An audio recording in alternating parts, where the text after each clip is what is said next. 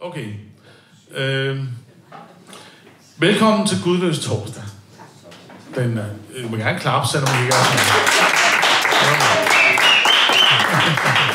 er øh, sagen er den, at øh, vi plejer jo at reklamere for de her gudløse torsdage. Sådan mere eller mindre professionelt. Og denne gang er jeg hørt til de mindre.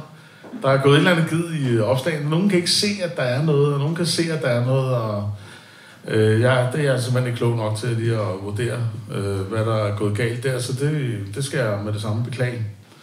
Men det ændrer jo ikke ved, at os, der er her, vi øh, får den gudløse torsdag, vi er kommet efter. Nemlig en øh, hyggelig og informativ aften med en spændende gæst. Øh, no, øh, nogle gange har vi jo to gæster, og det har været lidt svært her, fordi at, øh, at konkurrere med Halloween, øh, det, er, det har jeg fundet af, det svært. Det er virkelig blevet en integreret, øh, øh, ja, det er næsten ligesom jul efterhånden. Øh, og øh, som I kan se, så har jeg også taget et øh, uhyggeligt øh, kostume på. Øh, jeg ser faktisk sådan ud. Men øh, jeg tænkte, det er scary nok. Øh, så, så hjertelig velkommen her.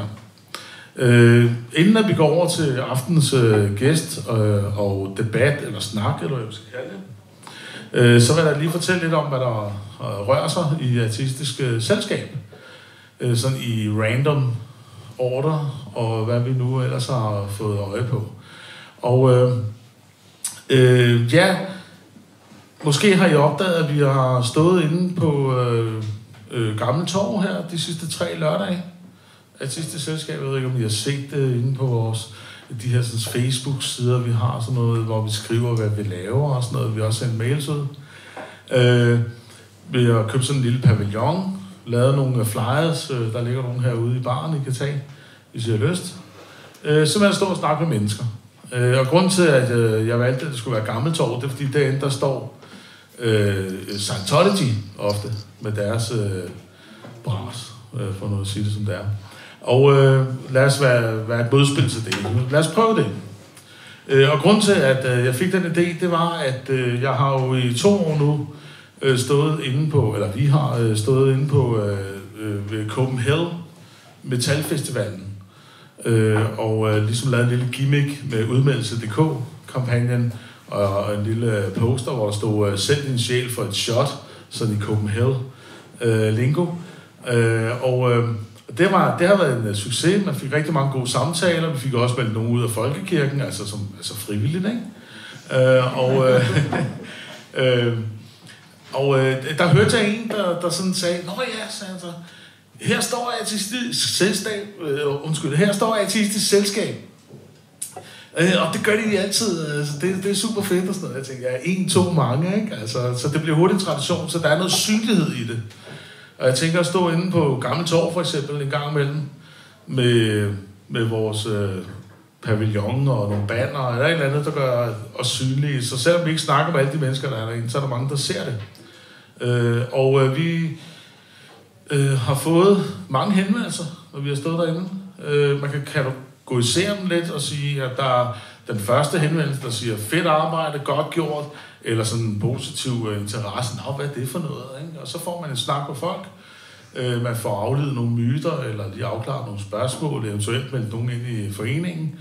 Øh, og øh, så er der den anden kategori, det er dem, der siger sådan, fis af, eller var det provokerende, I står her, ikke? Og det er jo også godt nok, så får vi måske, måske en snak med dem. Øh, og så er der en tredje kategori, og det er turister, der kommer og spørger, hvor der er øh, nogle toiletter.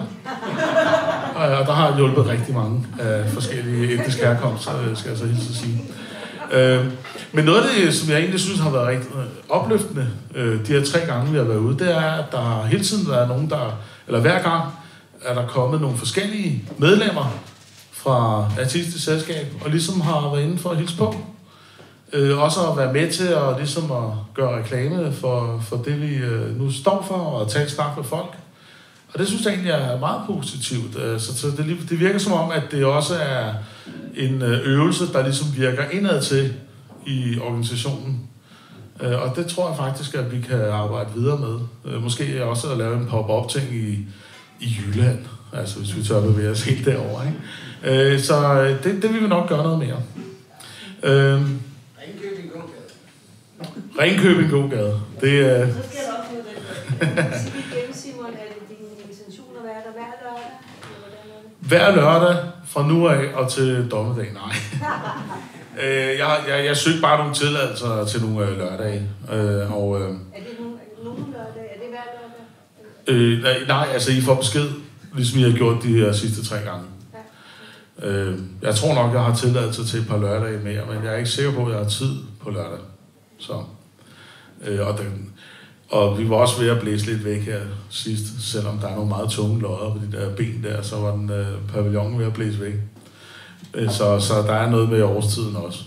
Jeg kan sige, at øh, jeg mødte ikke... Øh, jo, vi mødte faktisk Scientology den ene gang øh, i form af en kvinde, som var hen og snakke med os, og vi, hun, hun gik ikke igen, før at der kom en ikke særlig snaksalig herre fra Scientology hen øh, og ikke rigtig hilse på os, men lige prikkede hende på skulderen midt i en samtale og sagde, nu, nu skal du herover stå. Og så røg hun over på et andet hjørne, og så skulle hun stå der.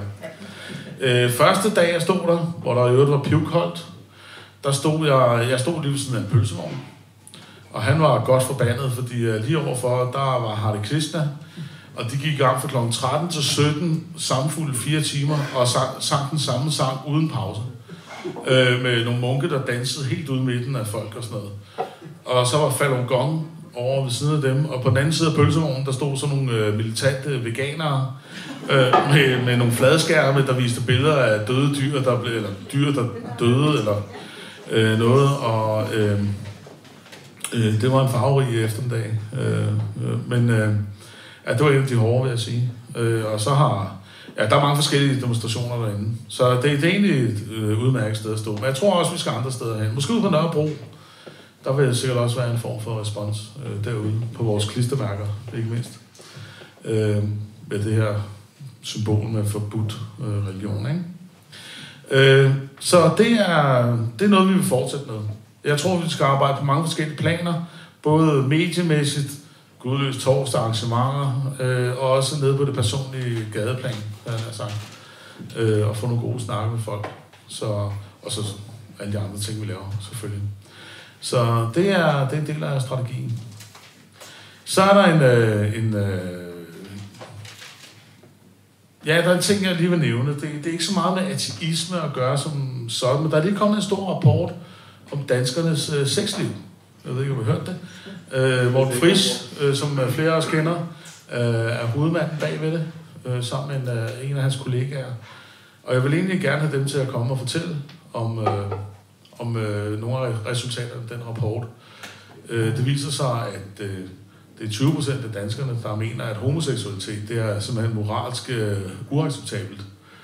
Og det var nogle af de holdninger til seksualitet, som jeg egentlig gerne vil diskutere med dem. Men jeg tror, det er for svært for dem at komme i øh, artistisk selskab, fordi jeg fik et svar, der hed tak for henvendelsen, men øh, det dur simpelthen ikke. Øh, så det, men, jeg, men læs rapporten, den ligger øh, på øh, nettet og til at få fat i, og øh, den er sådan set øh, ret interessant. Jeg har ikke læst hele rapporten, men jeg har læst det der med holdninger til sex. Hvilket leder over i den øh, næste ting, det er øh, øh, blasfemiparagrafen. Jeg har skrevet et indlæg i, øh, i øh, Christi Dagblad.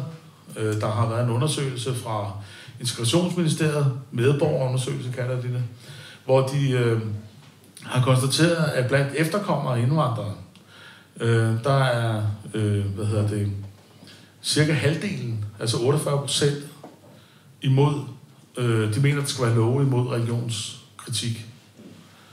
Altså, så de er kede af for eksempel, at øh, blasfemiparagrafen den røg sig en tur i øh, 2017.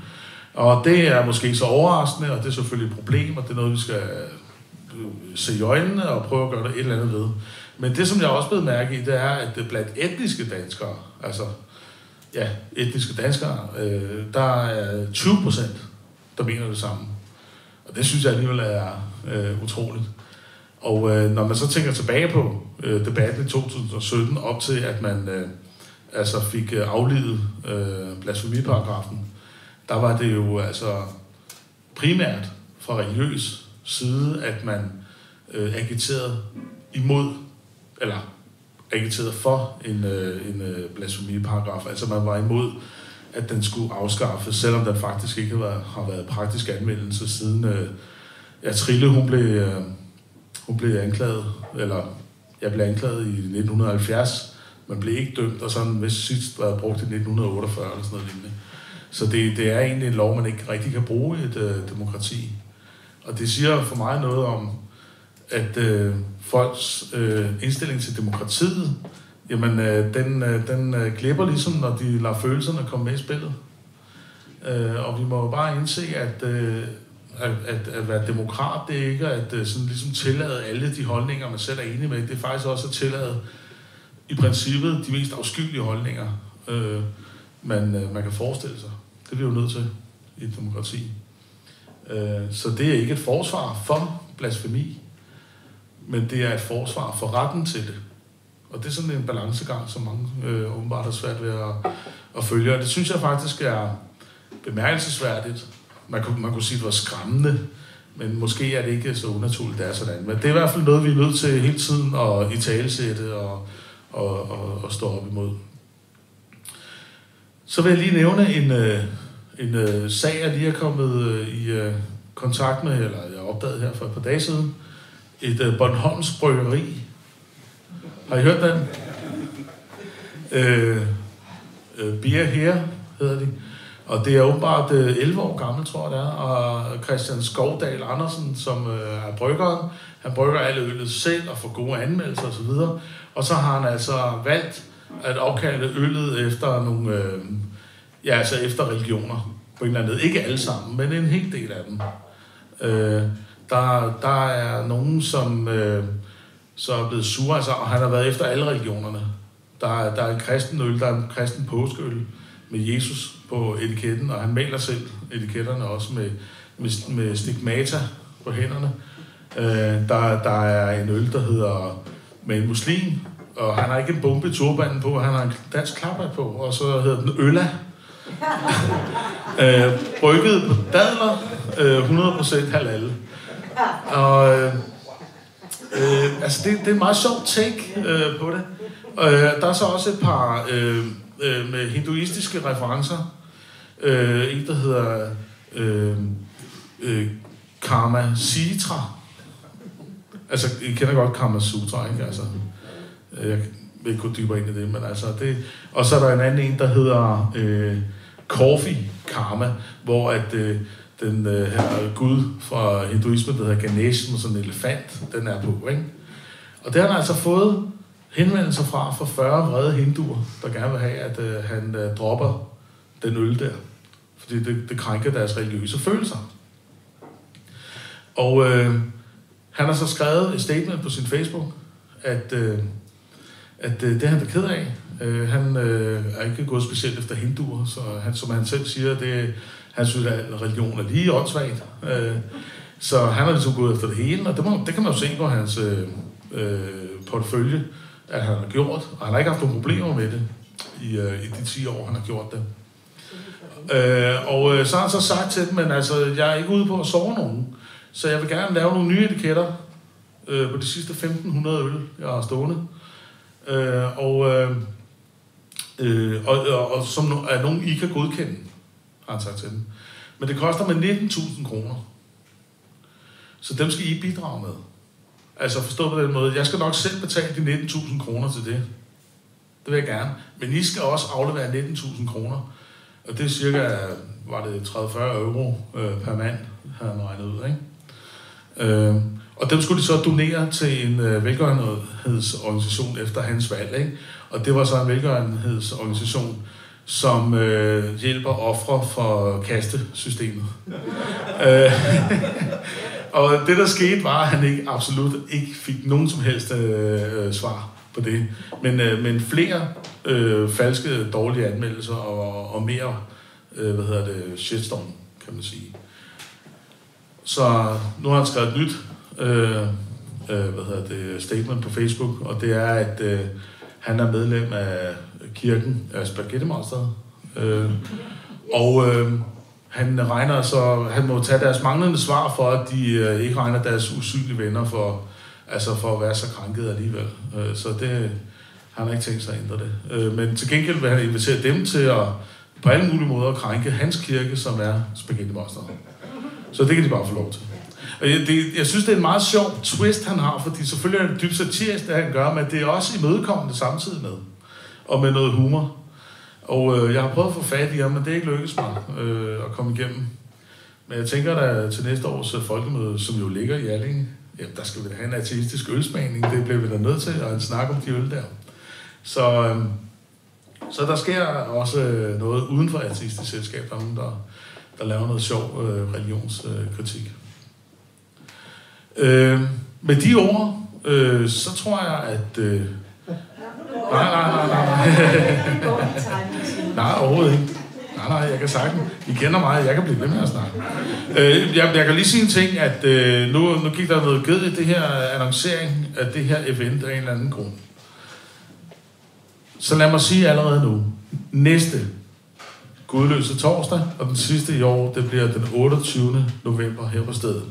Vi har to gæster klar, og der kommer et klokke klart arrangement ud, linket på den rigtige måde, diverse steder hen på mandag.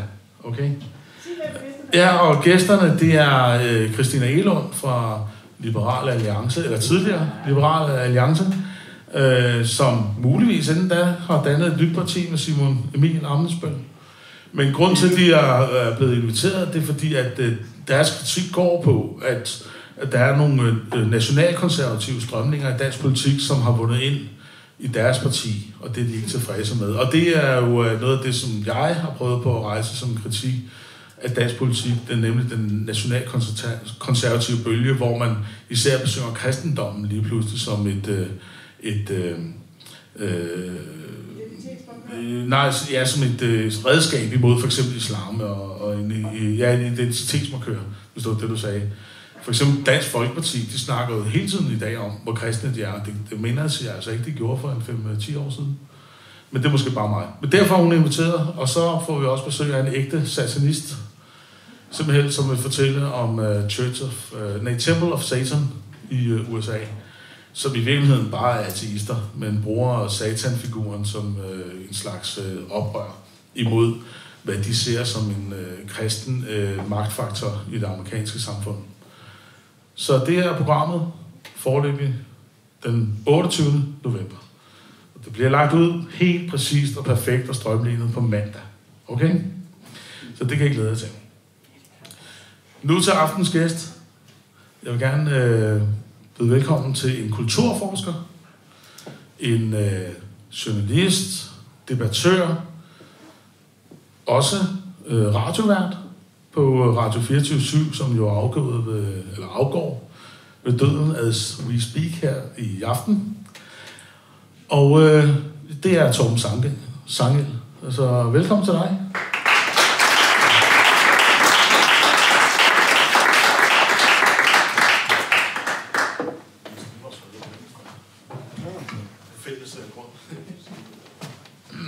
Tak for det. Jeg var helt bange for, at jeg slet ikke lov at sige noget her. Øh, nu, øh, nu skal vi lige snakke med Torben her et øjeblik, og efter jeg stiller ham nogle spørgsmål, så holder vi en lille pause, så jeg går ud og køber en, en drink mere ude i baren, og så bliver der spørgsmål på salen. Okay? Øh, og vi har inviteret dig, Torben. Jeg har inviteret dig, fordi du skrev en fantastisk smuk artikel i øh, det øh, netmedie, øh, som øh, du er en del af, der hedder Zetland, som øh, hedder, at øh, selvom jeg er artist, kan jeg godt opleve fortrydelsen. Men hvordan, hvad, hvad hedder det nu? Det, kan, det, er ikke, det er jo ikke skribenten, der laver de der Nej. rubrikker. Det er en eller anden redaktør. Men altså et eller andet noget, så men, det, men, men den handler om, øh, hvordan en ateist godt kan føle, at livet er storslået og fantastisk, øh, og ikke er bare sådan rationalistiske målvejningsting, som øh, jeg har forstået det. Og det er en meget smuk artikel, og jeg har mange spørgsmål, og det kommer der sikkert også fra sagen. Men kan du fortælle, hvorfor, du, øh, hvorfor skrev du den egentlig? Jeg har i mange år været træt af de fordomme, man hører om ateister fra øh, ja, nationalkonservative og sådan religiøse debattørkredse. Fordomme, der handler om, at den ateistiske verden, det ateistiske livssyn er øh, goldt og tomt og livløst og usandsligt og øh, gennemført rationelt og affortryllet med et ord, øh, som er altså, hentet fra, fra sociologen Max Weber. Ikke? Men altså, øh, ideen om, at, at øh, religion er en fortryllelse, og der sker en affortryllelse i og med den moderne industrialisering osv. osv. Øhm, og øh, sagen er jo, at der er masser af fortryllelse at hente i øh, uden øh, alle mulige øh, uden den religiøse fortryllelse, så har vi alle mulige andre fortryllelser. Vi har æstetiske, vi har også videnskabelige fortryllelser, fordi øh, at man skal jo ikke kigge længe ud i verdensrummet for at altså, se, at det er, det er sublimt. Øh, så ja, det var egentlig bare, øh, jeg fik endelig lov, fordi at, øh, jeg, får, altså, jeg får ikke lov til at skrive, hvad der passer mig i, i, i medierne. Det gør jeg på Facebook til gengæld. Der kan man følge mig, der siger jeg lige, hvad det passer mig. Men øh, nu fik jeg lov til at skrive, det var første gang, jeg fik lov til at skrive om ateisme på Zetland. Jeg har kæmpet for, og det ved Anders Stjernholm, det har jeg kæmpet for i årvis, øh, men nu var der en anledning, fordi Sørine Godfredsen havde skrevet et indlæg en måned tidligere, som jeg så kunne øh, svare på. Så det var egentlig bare sådan et, et halmstrået greb for at kunne fyre min kæphest af. Altså, jeg synes, det er virkelig smukt. Jeg kan anbefale alle at læse den. Og i det rigtige link inde i begivenheden, der ligger faktisk link til den artikel, som man kan gå ind og læse, fordi at du har delt den, og det er sådan på Zetland, og så, så er artiklen gratis. Og man klikker ind på den, og så får du en 10 eller sådan noget lignende. Så, men, men det, det er en anden historie. Det er helt sådan, det fungerer. Men øh, vi har ikke en betalingsmord. Det er Nej. Øhm, men det er meget sjovt, at du siger, altså Serene, hun har simpelthen skrevet, var det på Zetland? Ja. Øh, og du har kæmpet for at få lov til at skrive en øh, artikel om ateisme. Og det leder mig til... Flere artikler. Flere artikler, ja. Øh, det, som, det leder mig til et spørgsmål, fordi som jeg opfatter det, og som jeg også altid får at vide, jamen Danmark er jo rimelig sekulært. Altså, danskerne tror jo ikke rigtigt på noget. Altså, hvorfor er det overhovedet vigtigt? Altså, det er overhovedet vigtigt. Altså, der, vi er da alle sammen enige i, at øh, det der religion ikke betyder så meget. Men du har altså måttet kæmpe for at få lov til at skrive en artikel om ateisme. Hvor, hvorfor er det, at når vi lever i et land, hvor folk ikke tror så meget, alligevel hænger jo enormt meget fast i det der øh, religiøse, altså den der navnestreng? Lad os skille de to ting ad. Okay. Fordi det er ikke fordi, at der er en modstand mod ateisme på Zetland. Øh, det, jeg har heller ikke fået lov til at skrive religion som sådan, så det er det hele taget. Øh, okay. øh, en af mine redaktører har tidligere været på Kristi Dagblad, og simpelthen bare stoppet med af alt, hvad der handler om religion og ateisme. Hun gider overhovedet ikke, så vi skal skrive om samfund og sådan noget. Ikke? Okay, og det er også rigtig fint. Men, øh, så, det, så det har egentlig ikke noget med en, en, en eller anden religiøs tendens på Zetland at gøre. Eller sådan noget. Øh, så, øh, men det spørgsmål er, øh, er Danmark ikke sekulariseret? Er det det, der er det spørgsmål? Ja, altså, eller hvorfor er det, vi stadig, at danskerne stadig hænger fast i en eller anden religiøs navlestreng, når nu de er ikke særlig troende, altså næsten sekulariseret. Gør det det? Jamen, du måtte jo ikke skrive en artikel om ateisme, fordi jo, der er nogen, der var træt af den. Jamen, jeg må heller ikke skrive om kristendom. Altså, okay. Så det, det, det, det, er ikke det. Er ikke det. Nej, det er okay. noget andet. Det er noget andet. Det er, så, er, det, er det fordi, det generelt er et farligt område, eller hører det bare til Zetlands genstandsfelt, eller hvad? Øh, Zetland er netop et ret sekulariseret medie, og derfor så øh, er det ikke hele det der øh, felt er ikke noget, der... Jeg har, jeg har fået lov til at interviewe Sharon Kang Kang, øh, så det, den har jeg skrevet, og så har jeg skrevet den her ateisme mm. Men alt andet er blevet afvist. Det skal siges, at man får mange artikler, der er afvist på Zetland. Altså, de er, de er benhårde, de der okay. Ja. men, øh, men altså, du siger, at du har hørt mange... Øh, øh, du var træt af den her øh, fortolkning af ateismen. Ja. Og derfor skrev du den artikel. Hvor har du så mødt den fortolkning henne? Jamen i, i debatten, altså i, i medierne. Mediedebatten, men også nogle gange i diskussioner øh, forskellige steder. Jeg kan, ikke, jeg kan ikke sådan komme på et konkret eksempel. Jeg har bare mødt den gennem rigtig, rigtig mange år. Ikke? Ja. Øh, jeg var en af, af de første, der havde sådan en helt almindelig blog tilbage i 2002 eller 2003 eller sådan noget og der havde jeg også forskellige sådan nogle øh, debatter der, hvor øh, folk kom, øh, øh, kom med sådan nogle idéer der. Jeg, altså, i den Trandholm kan jeg i hvert fald huske, hun er en af dem, ikke? Men altså, hun er jo også bindegal, ikke? Og hun er ikke øh, forventet. Men altså fra alle mulige sider, og så går folk ind og, og forsvarer det der synspunkt, og det er i visse kredse et mainstream synspunkt, at moral og fortryllelse, det er noget, religionen garanterer. Og hvis ikke man har det, så, så, så har man et trist materialistisk liv.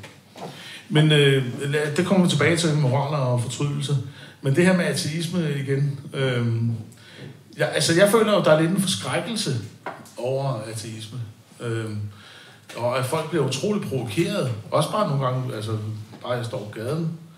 eller hvis jeg skriver et lille indlæg i en avis, og hvor jeg faktisk bliver ret overrasket. Og du, du siger selv i din artikel, at du egentlig selv nogle gange tøver med at kalde dig ateist. Øhm, så hvad er det, der er farligt ved at, hvad, hvad er der farligt ved den Jamen, det, det er jo lidt ligesom, øh, at jeg også tør med at kalde mig feminist, selvom jeg i virkeligheden er det. Og det er jo fordi, at, at både ateisme og feminisme har jo, øh, er jo, har fået sådan en masse konnotationer i debatten, som at man skulle mene alt muligt ekstremt. Så hvis man siger, at man er feminist, så tror folk, man er Henrik Marstal eller sådan noget. Ikke? Og, og øh, hvis bare man... Jeg, jeg har det bare sådan, jeg, jeg tror ikke på Gud, og jeg tror ikke på, at det ene køn har mere ret end det andet. Øh, det gør mig til både ateist og feminist, men der hænger en masse konnotationer ved, som gør, at jeg sådan egentlig ikke øh, bruger de ord særligt tit om mig selv. Det gjorde jeg så i den artikel, så sagde jeg, okay, nu toner jeg rent flag. Ja, det må jeg så sige, du gjorde, fordi at du faktisk øh, øh, siger, at, øh, at du godt kan se, at, øh, at det måske var mest ærligt at kalde dig, altså, altså der er der hele den her agnostiker-diskussion. Ja, det er jo, det er jo meget synes... bekvemt at kalde sig agnostiker, så er der i hvert fald ikke nogen, der bliver sure. Ikke? Men, øh, og det har jeg jo sådan set også, altså jeg synes jo, det er, det er jo ikke, det er jo ikke for, den agnostiske position er jo ikke forkert. Øh, den er bare heller ikke sådan særlig konsekvent. Det kan godt blive lidt for, kan godt blive lidt for bekvemt, mm. og ikke overhovedet tage stilling til, hvad man tror eksisterer. Jeg kalder det fejl i artiklen. Ja, ja. Øh, ja, og det er jo sådan, jeg selv har det. Altså, jeg har sådan... Øh, jeg ved godt, at man øh, sådan filosofisk set ikke kan bevise et negativt. Jeg kan ikke bevise, at Gud ikke eksisterer. Og derfor skal man ligesom kalde sig agnostiker. Men jeg synes, det er sådan lidt en uh, gummi uh, paragraf. Altså, jeg tror ikke på noget. Så, så er den ikke længere. Og jeg, jeg har egentlig... Det har jeg faktisk ikke forberedt på, men jeg har faktisk øh, kommet så langt til at sige, at jeg kan ikke bevise, at Gud ikke eksisterer. Men alle de guder, som menneskeheden har kendt til, om det er 3 eller 4.000, dem ved vi jo, hvor kommer fra. Og det gør det jo bare endnu mindre sandsynligt, at det skulle være nogle af dem, der eksisterede. Hvad siger du til det? Der er jo sådan nogle smarte New Age-typer, som siger, at det er bare forskellige gestaltninger af den samme, øh, ja, ja. den samme gennemstrømmende kraft i universet. Ikke? Jo, men det er, der er sådan en del regioner, der ikke er enige med dem i, ikke? så det, ja, de har noget, de skal have, de skal have været ud der. Øhm, men så nævnte du moral og fortrydelse. Og jeg, jeg har jo selv stødt ind på det der argument. Jamen altså, der er noget fantastisk. Altså, religionen giver svar på alt det, som naturvidenskaben ikke giver svar på. Alt det, der ikke kan måles og vejes. Alt det, vi ikke ved noget om. Alt det, der virkelig betyder noget. Det er det, vi, det, er det, vi finder. Det er fortrydelsen, ikke? Og i samme, må bliver måske for store spørgsmål, men i samme mange nævner de jo moralen.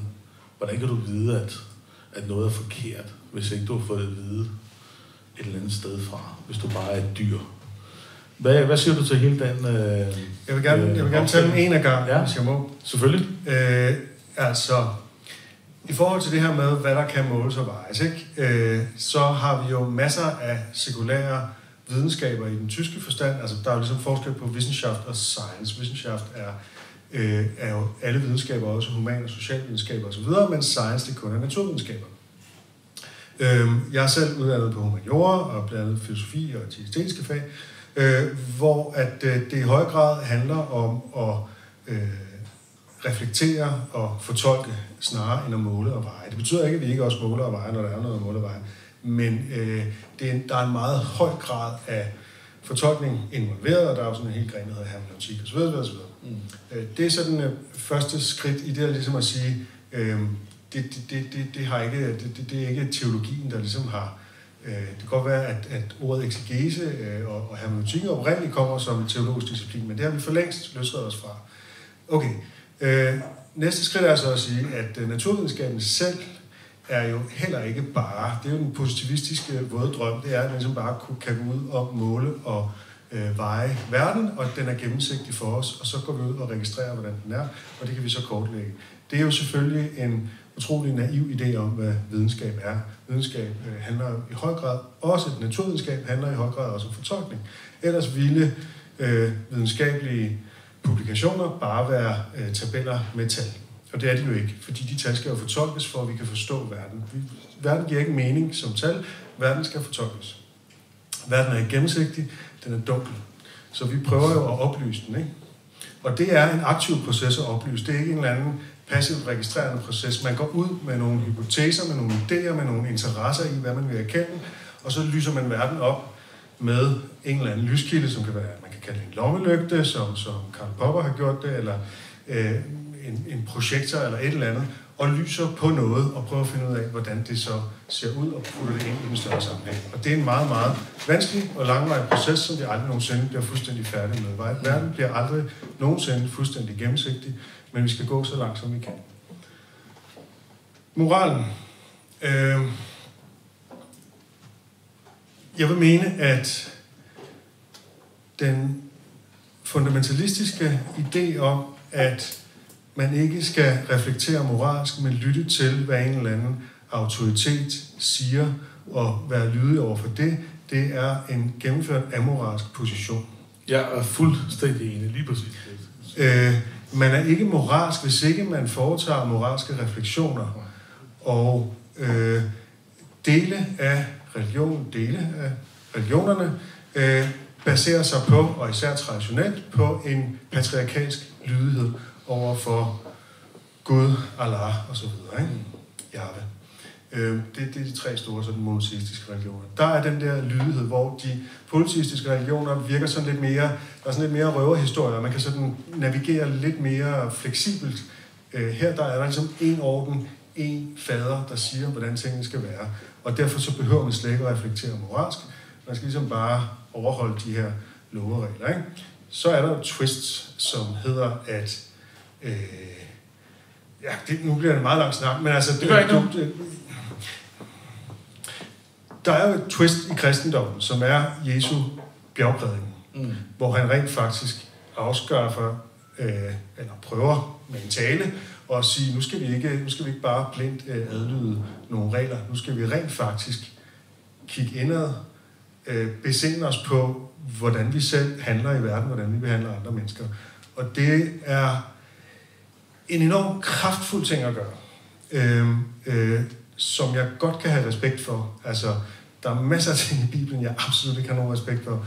Bjergprædiken synes jeg har et eller andet, og den har haft en enorm kulturel betydning, som på godt og ondt. Øh, men, men den del af det, den der del af det, der hedder, øh, prøv lige at gribe i egen barn, før du anklager andre. Prøv lige at overveje, hvad der egentlig er rigtigt, før du øh, henviser til en eller anden lov. Øh, det synes jeg er en, en ret kraftfuld ting, og den må man lige give Jesus, øh, selvom at det her er sådan et sted, hvor vi hurtigt kan bashe ham. Ja, hvis han nu også levede og sådan noget. Ja, ja. Det, det er sådan noget helt andet. Men altså, jeg betragter Jesus som en litterær figur. Ja, okay, så er vi enige. Øh, jeg tænker også bare, at grækerne var der jo måske 500-600 år før, ikke, hvor man fandt ud af, at hvis man skulle få et civilsamfund til at fungere, så var det måske godt at behandle andre mennesker godt, og være lidt ydmyg, og ikke snyde og bedrage og sådan nogle ting. Ikke? Så jeg, jeg ser det som et skridt i vores øh, civilisation, eller hvad skal man sige, øh, ja, nu er jeg bare i gang med at tale om de monoteistiske religioner, ja, ja, ja. Som, som nogen, der kun handlede om lydighed, og det vil jeg bare nuancere. Yes. Øh, jamen det synes jeg er rigtig fint, øh, og der, der er en havlby af spørgsmål, som lige øh, rammer ned i mig, men øh, du siger også, at øh, ligesom man ikke kan reducere øh, videnskab til ting, der kan måles og vejes, så kan man heller ikke reducere religion til bare noget med at have det godt. Øh, øh, altså, øh, fordi så bliver det sådan nærmest form for terapi. Øh, ja, hvem, hvem reducerer det til det? Ja, altså hvis, hvis, man, hvis man siger, at, det, at religionen ligesom kan give svar på alle de ting, så re- reducerer man den til en form for terapeutisk middel, mere end at det egentlig er en egentlig tro, en egentlig religiøs tro. Og det har du for stor respekt for religionen til refererer ikke den uh, artikel korrekt nu? Helt. Det kan jeg ikke huske, at jeg skulle have skrevet det der, men altså det... Øh, altså, jo, altså... Det jeg muligvis har sagt, det er, at øh, øh, man, kan ikke, man kan ikke overbevise nogen om, at de skal tro, fordi det er rart eller godt Nej. at tro. Man er nødt til at have en fundamental fornemmelse af, at der er en eller anden metafysisk orden, som man indtræder i, i det, man tror på noget. Ja, øh, men det, der, det leder så ikke til spørgsmål, fordi du siger, der er for meget respekt for religionen til at reducere den til en form for terapi. Og så er det, jeg bare vil spørge dig, hvad respekterer du egentlig mest ved religion? For ja. at drille lidt. Jamen, det må du gerne. Øh, jeg har jo lige været inde på noget af det, faktisk. Ja, ja. Men øh, noget af det er, er, er egentlig meget personligt, fordi jeg selv, altså mine forældre er religiøse og sådan noget. Jeg respekterer mine forældre, øh, så jeg kan ikke sådan, altså jeg kan se, at det er, er meningsfuldt for dem. Jamen, altså, lad mig tage et helt konkret aktuelt eksempel. Min stedmor er lige død. Øh, min fars kone gennem 40 år. Øh, det er tydeligvis en stor trøst for min far, at der er et gravsted, der er en kirke, en kirke, som han har været meget aktiv i, øh, hvor han ligesom kan gå hen og udføre sovritualer. Øh, og det synes jeg, man skal være en schuft for at sige, lad dog være med det, din gamle nar, det passer jo ikke. Altså, hvorfor skulle man gøre det? Det, det giver mening for ham. Han generer ikke nogen med det. Ja. Altså, han er sådan en klassisk øh, folkekirkekristen, der egentlig ikke, der ikke missionerer og ikke generer nogen med det, og som respekterer, at jeg ikke tror, og så videre. Øh, men det betyder tydeligvis noget for ham, og det gør det nemmere for ham at komme igennem sorgen. Det, har jeg, det, det synes jeg et eller andet sted er fint nok for ham. Mm. Øh, det, det har jeg ikke nogen trang til at skulle gøre, gøre op med på den måde. Øhm, så det er en ting, det er det her at kunne forholde sig til døden. Øh, der kan religioner et eller andet, som øh, er kraftfuldt, øh, og som jeg godt kan have en eller anden form for forståelse for. Mm. Jeg mener ikke, det er rigtigt. Jeg gør det ikke selv. Men jeg kan godt forstå trangen til det. Jeg kan godt forstå, at du kan kalde det terapeutisk, for det er det jo, når man tager sovebearbejdelse. Men jeg kan godt forstå den mekanisme. Øh, jeg respekterer ellers for religion. Mm. Er de mere moralske end ellers andre, for eksempel? Nej, nej, det er de ikke. Okay. Overhovedet ikke. Altså, præster kan være nogle virkelig svin, ikke? Men, øh, men jeg respekterer måske selve den impuls traditionelt set. Altså nu også religion, det er så bredt. Altså, ja, det er virkelig. Ja. Men altså, traditionelt set, så har religion været det sted, hvor man stillede de store spørgsmål i høj grad. Ikke? Øh, og det at stille de store spørgsmål har jeg i sig selv respekt for. Jeg mener ikke, de har de rigtige svar på dem. Men de øh, har i hvert fald en eller anden omgang med dem. Men øh, ja, nu ved jeg ikke, hvor meget... Altså, altså, jeg har jo selv været religiøs, altså sådan dybt, ikke? og da jeg mistede min tro ja. og sådan noget, det var sådan en, en dyb eksistentiel krise. Så jeg forstår godt det der med ikke at ville tage religionen fra nogen. Altså, hvis der ligger en på hospice og siger til mig, jamen det er Jesus, der får mig igennem det her, det kunne jeg aldrig drømme om at tage for vedkommende. Jeg forstår virkelig godt den der... Kommer du med de skæld om at melde sig ud af folk? nu, og du sparer 200 kroner, jeg ved det. Vi skal lige det ud med, hvor lang tid du har tilbage at leve i. Nej, men altså... Så det, så den del af det forstår jeg jo godt. Øhm, ja, jeg er bare nået til et andet punkt, der hedder, at øh, jeg tror, det er bedre for mennesket, hvis ikke vi havde den der eskapisme lagt ned over os, som sådan en form for osteklokke. Altså, vi var nok kommet hurtigere frem til, at det var ok at være homoseksuel. Det var nok ok at indføre demokrati og ligestilling og sådan noget. Og der, så det leder mig frem til det næste spørgsmål, som er et af dem, jeg virkelig diskuterer med religiøse mennesker, og som jeg synes, vi hører hver gang, der er et debatprogram i en radio, i, eller i, på en, en tv-kanal. Der står altid en præst, der siger, og også øh, en, ikke engang altid præster, der siger, at Danmark bygger på kristne værdier. Er du enig i det standpunkt? Det er forkert at sige, at øh, den danske kultur i sin essens er kristen. Det er også forkert at sige, at den slet ikke er det. Så det kristne er en brik i det puslespil, som er dansk kultur. Et meget komplekst puslespil med rigtig mange brikker, og diskussionen må være, hvor stor er så den brik, som vi kalder kristendom. Det er meget, meget svært at svare på, for det kan nemlig ikke måles og vejes. Øh, og Øh, kristendommen er sig selv, altså hvad er det? Det er sig selv vævet sammen med alle mulige andre ting, historisk, kulturelt osv. Det er fuldstændig umuligt at sige, det er, det er 23 øh, kvadratcentimeter af det her puslespil, der er kristendom. Det kan man simpelthen ikke. Man må bare sige, det er en del af alt muligt andet, men vi, vores kultur er også i høj grad præget, præget af andelsbevægelser og socialdemokrati, og jeg ved ikke hvad. Det at vi bor i, vi er en søfartsnation, og vi har øer og alt muligt andet. Der, hvad for noget? Værtshuskultur. Og, ja, det tror jeg også, man har mange andre steder. Men, ja, altså, og, og vi ligner jo selvfølgelig også på mange punkter øh, vores nabolande og alt det der. Så vi er jo, vi er jo præget af alle mulige ting, som, øh, og, og det, hele det der med danskhed er jo et utroligt luftigt øh, begreb overhovedet at beskæftige sig med. Men det er jo selvfølgelig meget trygt, hvis man er nationalkonservativ kristen.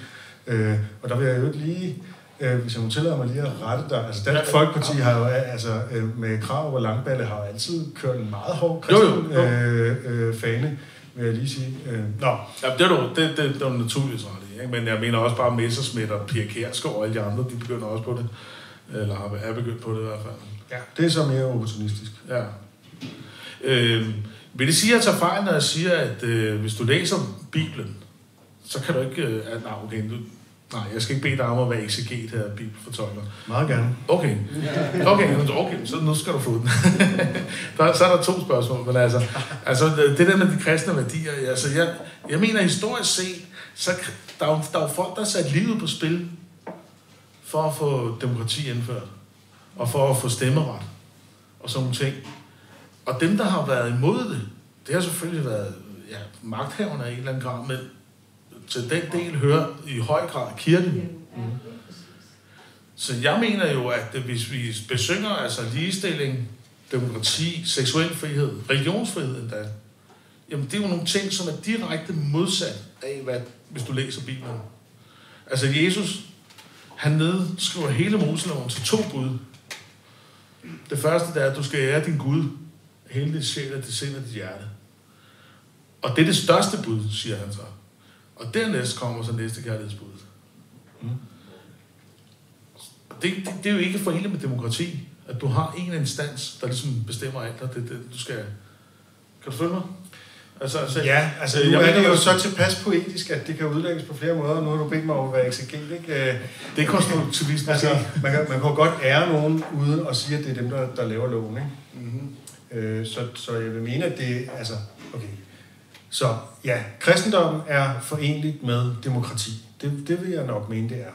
Øhm, at det historisk har været imod, er der alle mulige grunde til. Det er der mange andre øh, øh, øh elementer, der har været imod demokratisering. Ikke? Øhm, var der mere til spørgsmål? Jamen, jamen så lad mig bare udfolde lidt mere, ja. når, når Sørine Godfredsen så, eller andre folkekirkepræster siger, uden Luther havde vi ikke haft noget demokrati. Ja. Det er, jo, det er jo virkelig, det er jo sådan et utroligt bekvemt halmstrå, de hører ned og siger, jamen Luther han skældede mellem det kirkelige og det værtslige regimente, og der har vi så hele grundlaget for sekularisering og, og demokrati osv. Og, og det, det holder jo ikke for en nærmere grænsning, men det er en utrolig stærk myte i tideværvskredse, nationalkonservative kredse, øh, at det er sådan, det forholder sig. Altså det er mere eller mindre Luther, der er ansvarlig for demokratiet, og det er noget værre.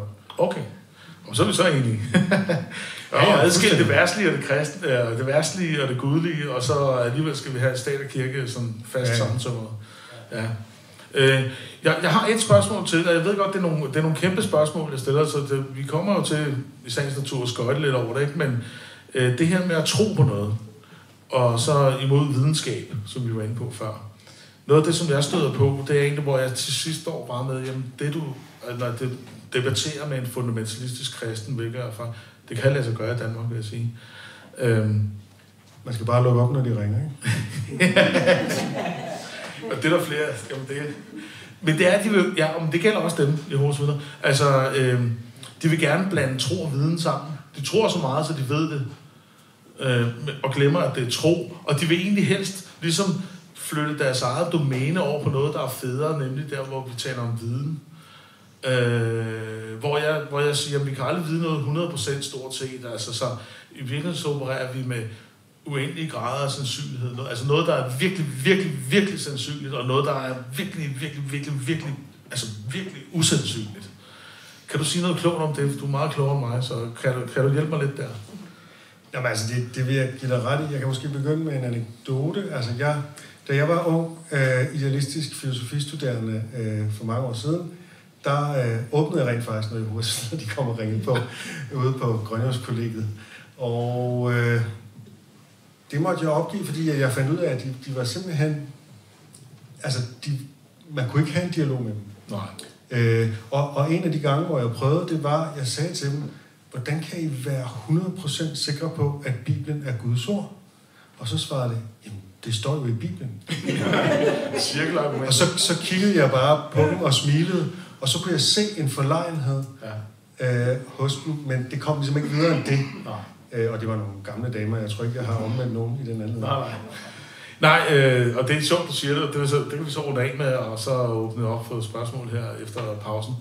Øh, jeg var til en fredagsbøn her i foråret sammen med Anders, øh, hvor vi bagefter diskuterede øh, med debatterede, talte med øh, nogle af dem, der var der. Og det var inde i Hisbutterialand. Altså, de kom fra Hisbutteria, dem vi snakkede med. Mm. Og, øh, og vi prøvede at spørge dem, og det var i forbindelse med alle de her Paludan-demonstrationer, ikke? Øh, og synes I, det er okay at gå hen og slå ham eller noget andet? Og, og, og de sagde, at det er forståeligt. Øh, vi prøver selvfølgelig at rette nogle af dem, der bare sætter ind i gaden og forklare om det islamiske standpunkt. Ja, hvad er det islamiske standpunkt? Jamen, det er lige meget. Det, vi, kunne, altså, vi kunne faktisk ikke diskutere med dem, ikke? Og, og, og jeg kunne genkende det med samme, fordi jeg selv er gammel i hovedet, så jeg var sådan glemt det, det her det fører ingen vegne, ikke? Og Anders var sådan, ja, nu vil vi, Gud vil sige dig, Anders. Jamen, du vil med noget her. Altså, hvad er det, du mener her? Hvad er det? Altså, han håbede virkelig ikke, og jeg, det, der, det er simpelthen bare kicking a dead horse, altså. Ej, det var nogle øh, meget store spørgsmål, som vi lige har gået meget hurtigt igennem. Altså, der er jo helt øh, pensum i hvert øh, spørgsmål nærmest, ikke? Jo. Øh, så er det okay med dig, at vi går til pause nu, eller har du en, lige en afsluttende kommentar til din artikel der? Hvad gik den, øh, altså, hvad, hvad, hvad har du fået respons på den egentlig? Udover at øh, du står her nu. Jeg har fået to typer respons. Øh, den klart overvældende, det er, det er folk, som har været glade for den, som jeg synes, jeg har sat ord... Altså det, det er virkelig den største ros, jeg kan få, og den har du så også givet mig, at jeg har sat ord på noget, som de selv har tænkt øh, på en bedre måde, end de selv kunne gøre det. Så bliver jeg jo pavestolt øh, for at bruge en religiøs metafor, og øh, pusser min glorie og så videre. Nej, men øh, så det, det er jo virkelig, virkelig fedt. Så har der været en person, som jeg har været nødt til at afmelde på Facebook, øh, fordi han... Øh, har skrevet speciale i sin tid på filosofi om øh, ateisme, øh, og han øh, synes, at den var for overfladisk, fordi at jeg ikke gik ind i Kants argumenter, Kierkegaards argumenter, Max Webers argumenter. Oh, ja, ja. Øh, og han, han, han, det alle steder, hvor nogen sluttede op, så skrev han sådan en hamdierne et eller andet øh, med, hvor, hvor dum en artikel det var, og sådan noget. Altså han havde sin egen kæphest, og sagen at mit ærne var ikke at give en idehistorisk redegørelse for mm. forholdet mellem øh, ateisme og oplysning eller sådan noget. Det var øh, sådan set at give en meget personlig mm. øh, øh, formulering af, hvordan det kan være at være ateist. Og det forstod han overhovedet Han ville ikke forstå det. Og en mangeårig god Facebook-ven, jeg har simpelthen været nødt til at afmelde ham, fordi han i sin fagidioti simpelthen ikke kunne acceptere, at jeg ikke gjorde det samme, som han havde gjort i sin mm. speciale. Mm. Og det, det, det, det er vi nogen, der kan. Jeg ved godt, det slet ikke var det svar, du var ude efter. Nej, men det, men nu, det, når du spørger. Ja, ja, nej, men altså, Anders og jeg har jo skrevet en bog sammen, der hedder Du er jo ateist. Og der ja, er altså nogen, der bare os igennem. Og jeg siger ikke, det er noget litterært mesterværk overhovedet. Men det, det er bare en kort, koncis indføring i, at hvad er ateisme, og hvad er det ikke for noget? Hvad er problemet med religion? Hvorfor skal vi være sekulære? Det er ligesom det, vi vil lave. En, en lille kort indføring i det. Og, og et af argumenterne, vi bliver mødt med, det er sådan noget med, at vi ikke har læst øh, 1400 års forgreninger i øh, teologi og øh, jeg ved ikke hvad. altså, det, altså, vi har jo et liv trods alt, ikke? Øh, men så det, det er lidt den, øh, du har været Det er jo samme, når man øh, diskuterer med, med konspirationsteoretikere, så er der altid et eller andet lille øh, pseudo-dokument, nogen har, som mm. man så ikke har forholdt sig til, og som rummer alle beviserne, indtil man så rent faktisk tjekker det og finder ud af, at det er rent bogus. Ja, og, og så har man spildt sin tid på det, noget man vidste i forvejen. Øh, jeg vil gerne lige øh, runde en ting mere, inden at vi går til pause. Og det var fordi, at øh, til Folketingets åbning, og det er apropos det her med kristne værdier og humanistiske værdier, der var du taler ved den alternative åbning, som er lavet af humanistiske samfund øh, hvor der, også sidder et par repræsentanter her i dag. Du holdt en meget fin tale om, at politikerne øh, skulle øh, selvfølgelig være deres opgave øh, voksen og bevidst, og det her med tilliden i samfundet. Faktisk noget, der egentlig var noget tråd med det, som Mette Frederiksen stod og sagde lidt senere inde i salen. Det fandt jeg ud af, vi har ikke koordineret det. Nej, jeg har koordineret det. Men hvad synes du... Øh, øh, jeg går ud fra, at du, du synes, det er en god idé med den her øh, alternative åbningsceremoni, som er renset for religiøse symboler. Øh, eller hvad, hvad, hvad er din generelle holdning til, Ja, det synes jeg. ja, det synes jeg, jeg synes, det er en god idé. Ja. Øh, og øh, det er jo tydeligt, at det er der også en del folketingsmedlemmer, der synes, men det er med få undtagelser fra Socialdemokratiet og ud til Venstre, der ja. synes, det er en god idé. Ja. Der var en borgerlig og en venstre, en kvinde fra Venstre, tror jeg. Mm. Der var der. Ikke nogen fra Liberal Alliance. Øhm, det, øh, det undrer mig lidt, og øh, altså der var i Christi Dagblad, de kørte sådan en serie, hvor de øh, fik folk til at kommentere min tale over for biskopens tale, som var sådan den, den øh, øh, officielle tale der, og hvor øh, og de, jeg, jeg fik øh, stort set kun positiv respons, undtagen fra Charlotte Dyrmose, som mente, at øh, det var en meget venstreorienteret tale, jeg havde holdt, øh, fordi at jeg gik i rette med offentlighedsloven, med IRA-kommissionen, med Tibet-sagen øh, osv., som, som steder, hvor politikerne mister deres tillid. Øh, jeg kan virkelig ikke se, at det skulle være et venstreorienteret synspunkt, at de sager er problematiske. Øh, det er, og, og, og jeg taler, mit udgangspunkt er tillid, det burde være en nationalkonservativ øh, mærkesag mm. osv. osv. Øh, jeg synes, jeg taler fra et, øh, et, i den tale fra sådan et, et egentlig politisk neutralt standpunkt som borger, der kigger på politikerne på det politiske system øh, og siger, vi vil gerne have tillid til jer. Derfor skal I have det var min hovedpointe, gennemsigtighed mm. i forvaltningen, og øh, I skal vise tillid til de offentlige ansatte. Det var faktisk jeg synes overhovedet ikke, jeg fik slet ikke en notion af, at den var venstreorienteret. Jeg kan godt fornemme det, når det er det, sådan vil jeg sige. ja, jeg, er ikke rød, jeg, er ikke, jeg er ikke rød, jeg er svagt med Genta, plejer sige. uh, okay, uh, lad os det, uh, sige det ordene nu. Uh, så holder vi lige en kort pause, så folk kan gå ud og få sig en forfriskning. Og så er vi tilbage her om øh, 10 minutter, 12 minutter, hvor lang tid nu tager, ikke? Okay? Jamen, det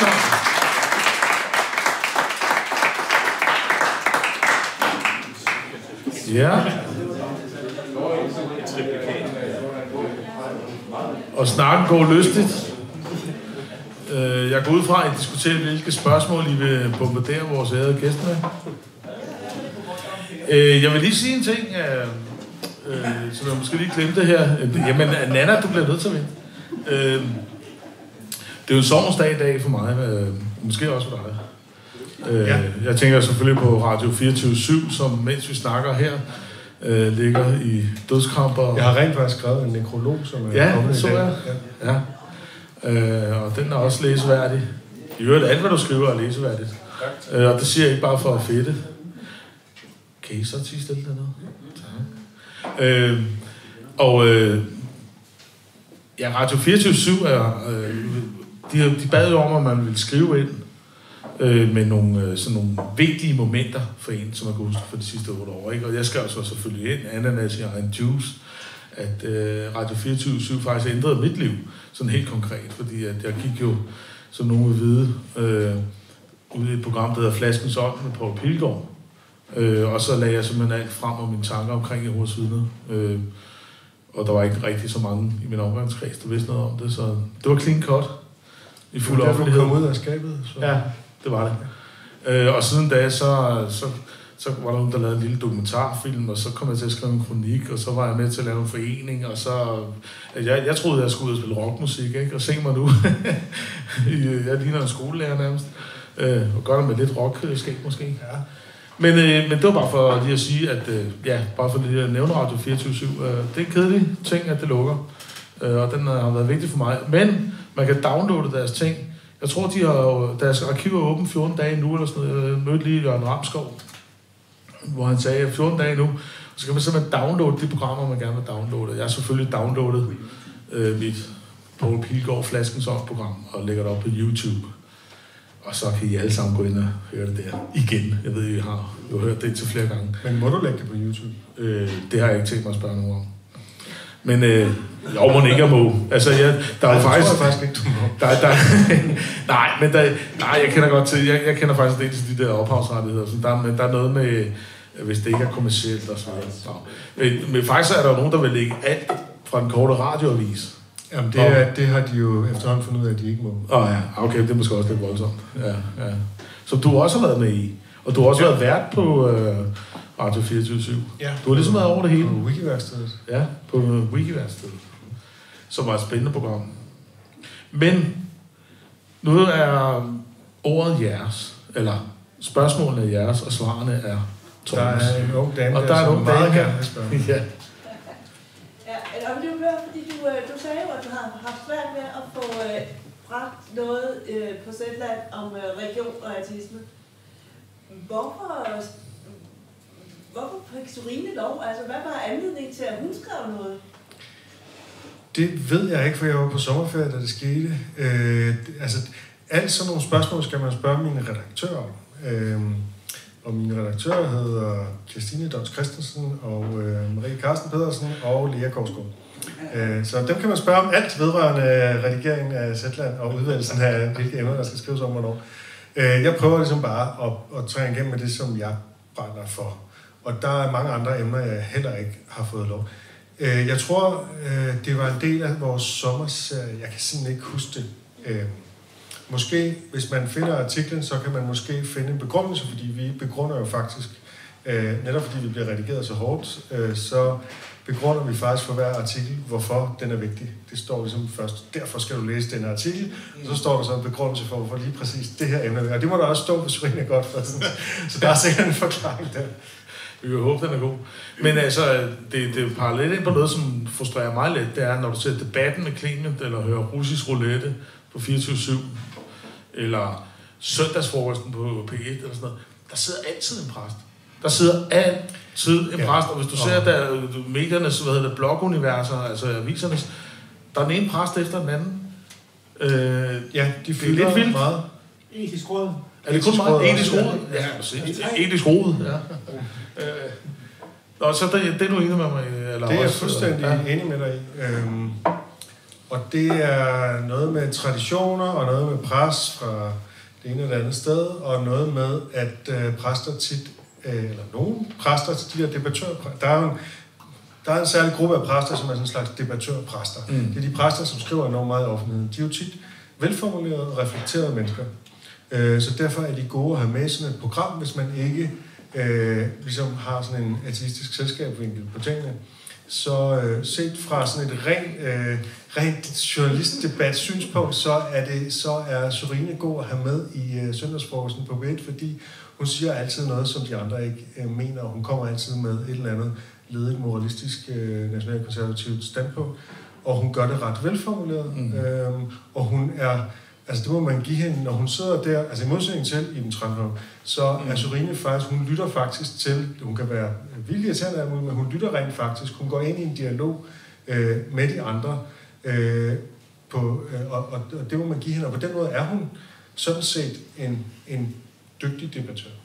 Det er faktisk enig med dig med, og når hun så kommer med nogle synspunkter, så er man nødt til lige at tænke efter, hvad er det egentlig, hun siger her, ikke? Inden at det går for en, at det er 9 ud af 10 gange er totalt bullshit, men det er sådan noget helt andet. Øh, øh, Karin?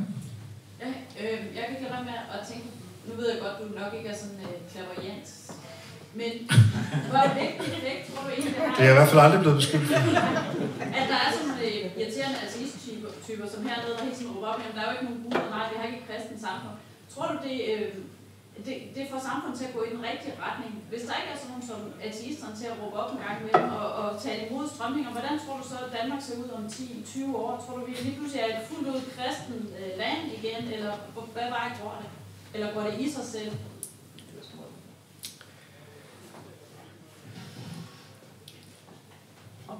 Altså, med al tænkelig respekt, så tror jeg ikke, at, at uh, ateistisk selskab betyder så meget for, hvilken kurs det danske samfund tager. Uh, det, det har jeg svært ved at, at, at forestille mig. Uh, så um, jeg tror, at det vigtige er, at der hele tiden er sekulære og ateistiske stemmer i debatten, og mm. uanset om de er en forening eller ej. Og det er ikke nødvendigvis det mest, øh, og det er også min strategi, så det, det skal jeg jo sige, men altså, det er ikke nødvendigvis det mest højtråbende, der er mest effektivt, fordi øh, det kan jo give backlash. Nu nævnte jeg feminisme som en parallel før, ikke? Og hvis man øh, råber meget højt og er meget ekstrem i sin feminisme, og, og øh, også kan flippe helt ud over manspreading og sådan nogle ting, så er det meget let at, at gøre grin med en, og så kan man virke skinger og hysterisk og sådan noget.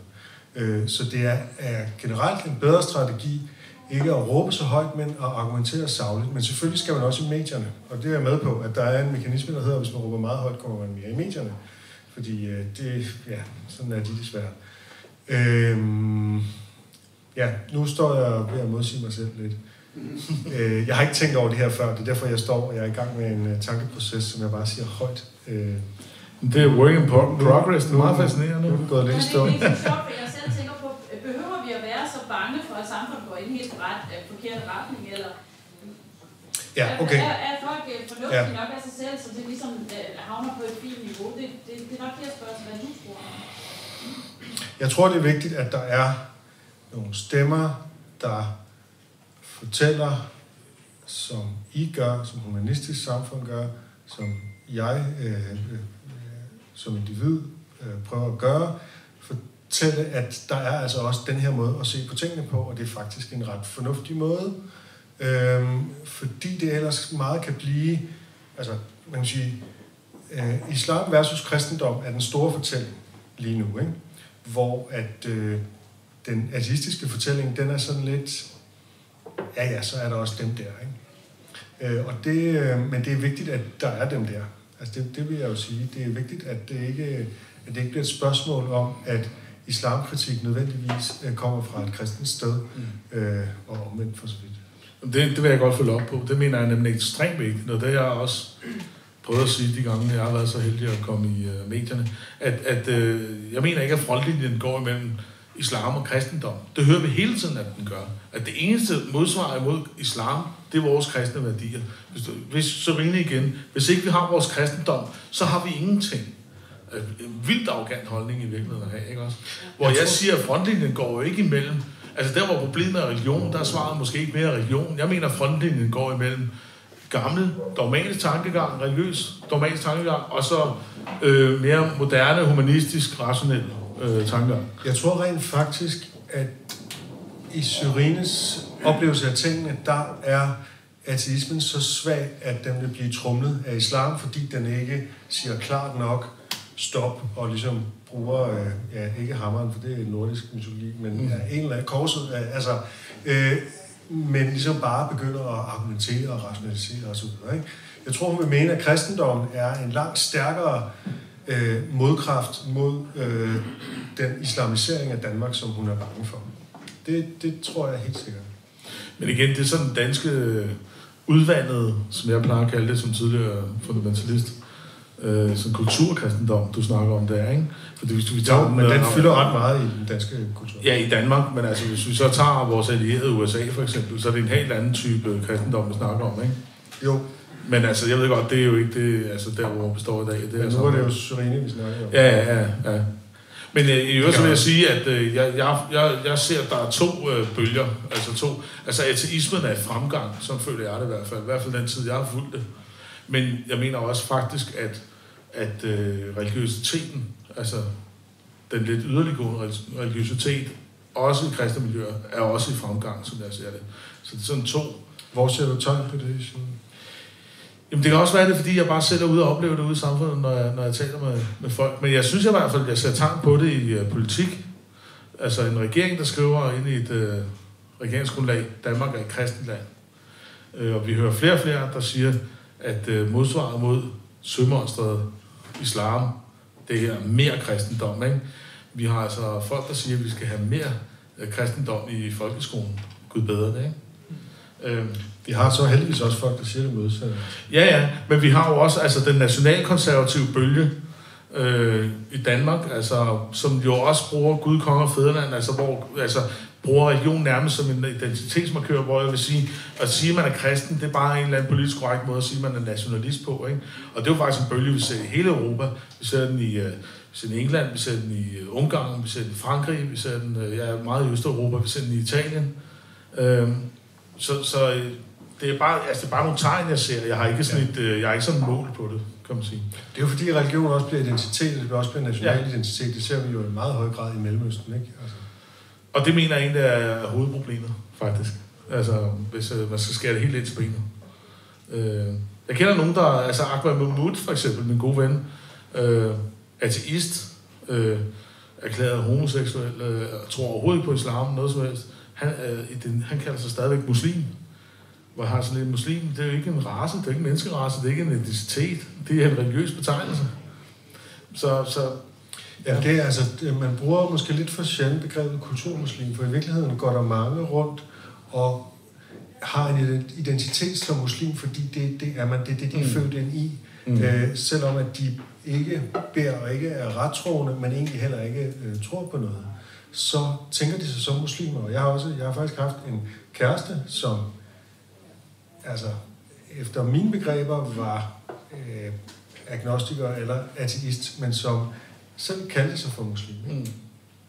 Øhm, men altså, det, altså, hendes børn fik leverpostejmad med i, øh, i madpakken, Mm. og altså, hun var fuldstændig integreret, sekulariseret, Ja.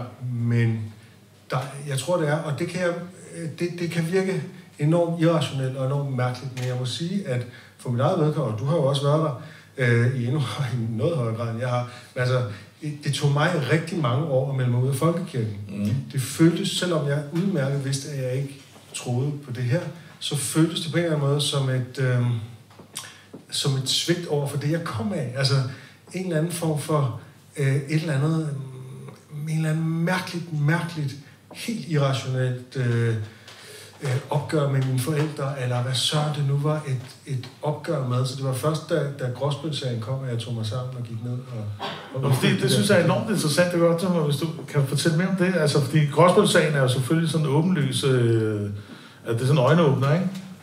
Jo. Men, men det er jo interessant det der med, at det stadig, selvom du har følt dig som øh, ateist eller et eller andet, og jo også gjorde det, før dine forældre døde, altså meldte dig ud af folkekirken, selvom du følte det var, altså, men det var enormt svært, altså, og hvad fik dig så til det? Jeg synes, Ja. det er faktisk ret interessant. Der.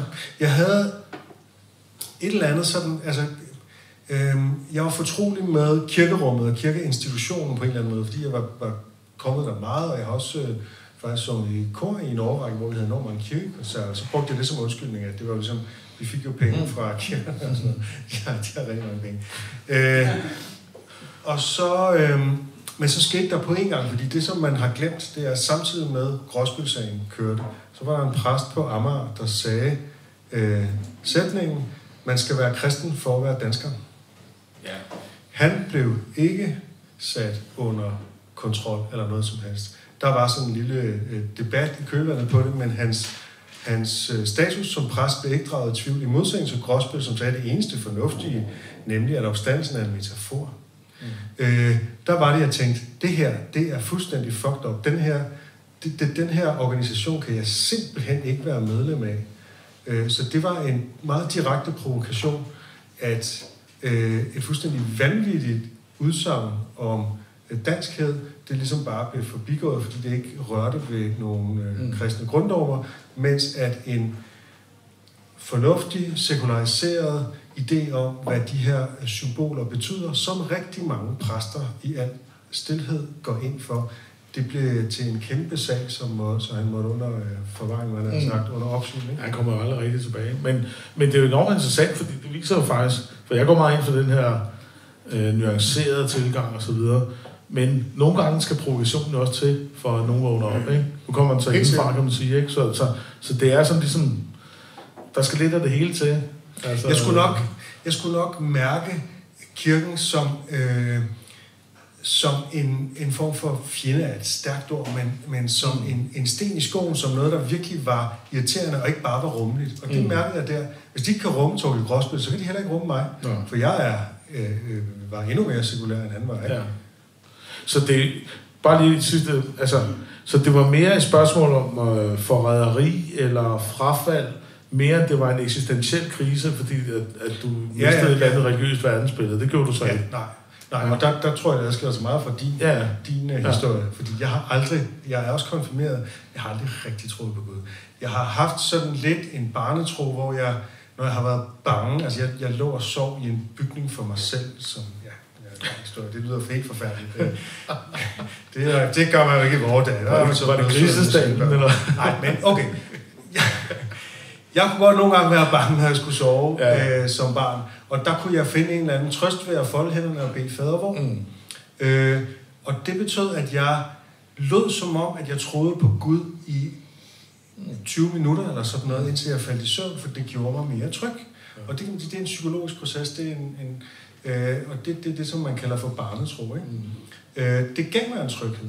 Øh, og det kan jeg ikke, det kan jeg ligesom ikke afvise, men det var ikke sådan, at når jeg så vågnede op, så takkede jeg Gud for, at jeg kunne falde i søvn trygt eller sådan noget. Fordi Nej, så- det, der, var ikke, der var ikke en egentlig tro sådan i, i den forstand, så det må give mening som en, en kristen tro.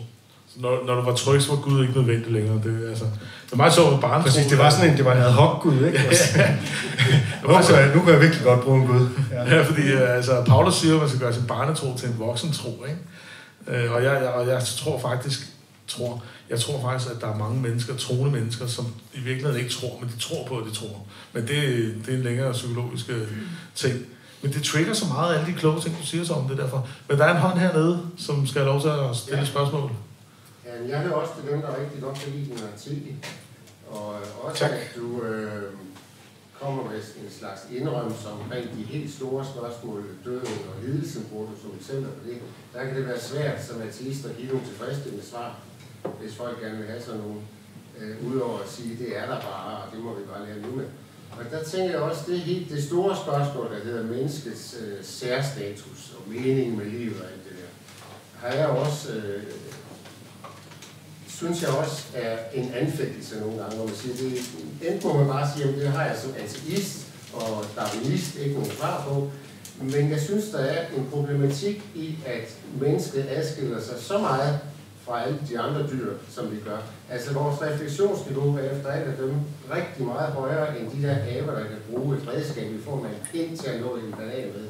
Og vores, øh, og vores, det der med, at vi så siger, jamen vi er ikke interesseret i meningen med livet, Øh, vi er interesseret i øh, at, at, at finde svaret på meningen med livet, men at, at, at give mening i livet. Altså alt det æstetiske, alt det, du siger, musikken og alt det der i naturen, alt det, der gør os, og mystikken, alt det, der gør os glade, det er jo et evolutionært luksusfænomen, fordi vi ikke behøver at kæmpe for at le- at overleve mere. Øh, og der er en af diskrepans der. Altså, har du et godt svar på det? Øh, kan vi Øh, undvære at, at forholde os til, at mennesker er så fundamentalt anderledes, og måske det eneste Ja. universet, der kan jeg, vil gerne, jeg vil gerne anfægte din idé om, hvordan vi er i forhold til andre dyr. Mm. Øh, fordi andre dyr er også virkelig forskellige fra andre dyr. Øh, det, det er en fantastisk ting, at vi har nået det, der hedder selvreflektion. Og det bryster vi os enormt meget af. Vi har sprog, vi kan kommunikere, vi kan reflektere, vi kan fantasere over ting, der ikke er her. Det er, sådan, det er noget, som er formentlig er unikt for mennesket, og det er rigtig, rigtig fint, og det er det, der gør, at vi overhovedet er samlet her i dag, fordi hvis ikke vi kunne reflektere, så var der ikke nogen debat. Når det er sagt, så er det ikke en biologisk anskuelse. Det er en, en øhm, speciocentrisk anskuelse, hvis man skal opfinde det ord. Øh, det er ideen om, at vi klapper os selv på skuldrene over det, vi kan. Det svarer til, at flagermus, de er enormt stolte over, at de kan ekolokalisere, og derfor så synes de, de er det seje dyr i verden. Det er dem, der virkelig er kronen på evolution, for de har fundet ud af at navigere i mørke på helt fantastiske måder, som vi slet ikke er i nærheden af. Øh, så alle mulige arter har specialiseret sig i alle mulige ting. Vores fornemmeste specialisering, jeg ved godt, der er noget med tommelfinger osv., men ellers så er det det her med, at vi har de her frontallapper, og vi kan øh, erkende og reflektere øh, øh, på, på et niveau, som, som ingen arter kan. Øh, det var bare lige sådan den biologiske del af det. Og så spurgte du noget om, øh, der, der var som om, der var mere i dit spørgsmål, end det med de andre dyr. Ja, altså på samme måde som man kan synes, at øh, de svar, man så kan give i forhold til lidelsen og død, så kan man også synes, at øh, Benny Andersen siger, at jeg er ikke interesseret i meningen med det hele, det er rigeligt for mig med meningen med det alle. Og det her, det er også fint nok, og vi kan sige, Ja. at vi skal ikke finde mening med det, vi skal finde mening i livet. Og det er Ja. så alle de der ting, du siger, der gør, at vi ikke er sådan nogle konsentige, hvidkitlede øh, laboranter. fordi Ja, jeg ja. Men der mangler stadigvæk ligesom noget, vi er, det det er nok meget specielle, og måske er vi endda de eneste hele universet, der er sådan, som vi er. Men den del, der hedder, hvad stiller vi op med de store eksistentielle spørgsmål? Øh, der har vi jo forskellige redskaber, man kan kalde dem krykker, øh, men, men de kan noget. Øh, filosofien kan noget, poesien kan noget, kunsten kan noget, musikken kan noget. Øh, og i de senere år finder jeg nogle gange en paradoxal trøst i det stik øh, modsatte af ideen om frelse og evigt liv. Øh, og jeg ved ikke helt, det er ikke altid, det fungerer for mig, men nogle gange så den her øh, tankegang, som på latin hedder subspecie eternitatis, altså under evighedens synsvinkel, dette, at det er fuldstændig ligegyldigt, at jeg eksisterer i, det, i den store sammenhæng, som både er den tidsligt store sammenhæng, evigheden, men som også er altså den rumlige sammenhæng i universet. Altså det er, jeg er så fuldstændig, jeg kan godt stå her med en mikrofon og synes, jeg er noget, men jeg er fuldstændig ligegyldig.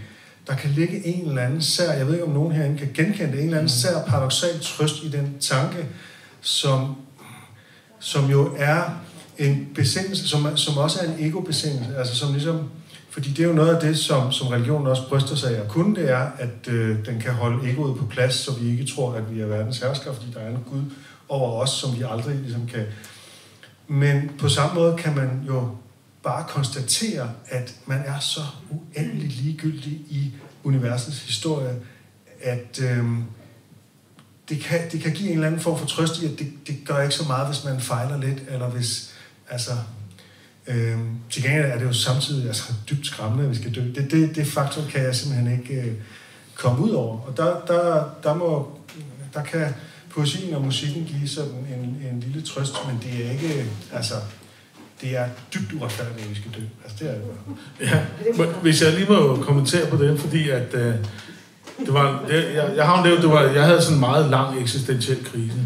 Og det første, det, jeg tror det er fire år siden noget stil. Jeg kan næsten sætte dato på, hvor, hvor lige præcis den erkendelse kom til mig.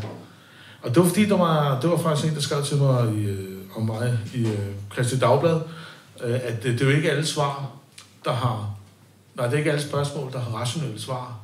Og det tænkte jeg meget over, og så tænkte jeg, det er nok rigtigt. Det er sådan måske fordi, at det kun er rationelle spørgsmål, der har rationelle svar. Ikke?